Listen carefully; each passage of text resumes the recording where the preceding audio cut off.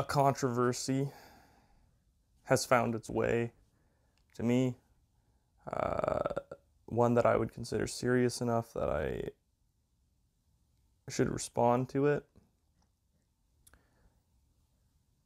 I think most of you probably know what I'm talking about.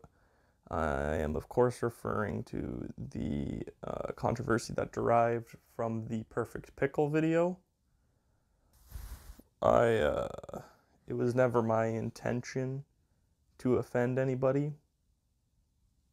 I am just very passionate about pickles and wanted to share what I felt was the uh, perfect pickle. Uh, to say the response to the video was mixed would be to put it lightly, uh, despite the fact that there were some positive uh, comments. Um, I, I, was also lambasted. Uh, I'll share a few of those with you. Uh, first, the one that I felt was uh, kind.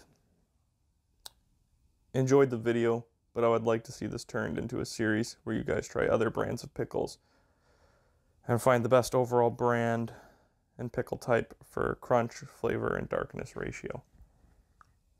Um, that's not going to happen, unfortunately, after uh, the, after this fiasco. Uh, there was something that we had thought about, but uh, it's completely out of the question now to prevent offending any further individuals.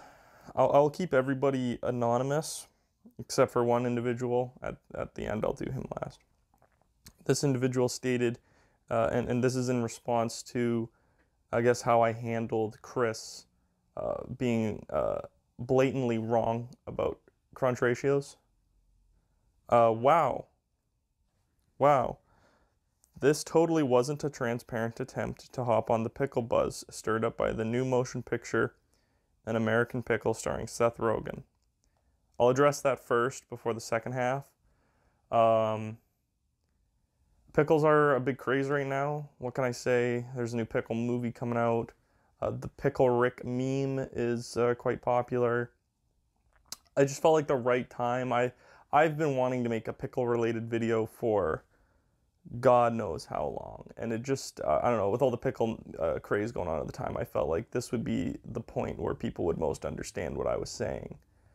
Uh, I wouldn't say that I was um, trying to, ha- I, I, wouldn't say like I was trying to ape what was going on in the pickle world. I felt I had something unique to say in the pickle community. Um, uh, but uh, I, I, don't know. I, I don't know if uh, I agree with this take. I, I, don't think that this is the particular take that I feel uh, bad about. Um, I, I, think that I was I was well within my rights to um,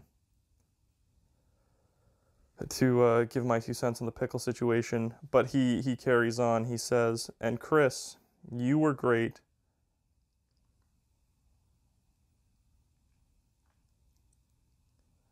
And Chris, you were great, and I'm sorry Ben dragged you through the mud with his crunch theory. In today's volatile in today's volatile political climate, I got nothing but in today's volatile political climate, I got nothing but respect for owning up to being wrong. Uh, yeah, I give. Uh, I also give Chris credit for um, owning up to being unbelievably wrong uh, about his pickle theory. Um, but uh, still, like, come on, like, are we are we are we kidding here? The lighter side of the pickle is crunchier. Get out of here. But that's fair. I shouldn't uh, lambast the people that are uh, helping me in my pickle endeavor um, in the video. So that's a fair statement. And now the person uh, that really sparked the, uh, the genesis for this video, the apology video, uh, Cucumber Bill. Cucumber Bill said, WTF. I subscribe. Cucumber Bill says, WTF. I subscribe to this channel for movie related content, and I never expected it to get political here. I guess that's maybe just the nature of today's society, but fuck me for thinking I could find a safe space here. I feel personally attacked and I might have to unsubscribe. I will give you a second chance to make amends. Maybe remove the video or use your platform to apologize. I'll give you 24 hours, okay? Um, so unfortunately, I wasn't able to respond within the 24 hours that uh, Cucumber Bill had asked me to. Uh, I, I genuinely couldn't. I was camping uh, before he had left his comment, and uh, he, um, I hope he understands that I, I didn't have the means to make a proper apology. And I left a comment letting him know that an apology was on the way. So I just hope that uh, this was enough. I'm going to try to make this quick. I didn't want this video going too long, and I can see on my little viewfinder there that I'm already getting up past uh, the six minute mark. So, Cucumber Bill, this was not in any way meant to attack you. I'm not taking the video down, so you can fucking forget about that. but no, this wasn't. a. but no, this wasn't an attack. This wasn't an attack on you, Pickle Bill. This or Cucumber Bill. Uh, this was uh, simply. Uh, this this came from a place of passion. I I've learned a lot in the past uh, three four days. Um,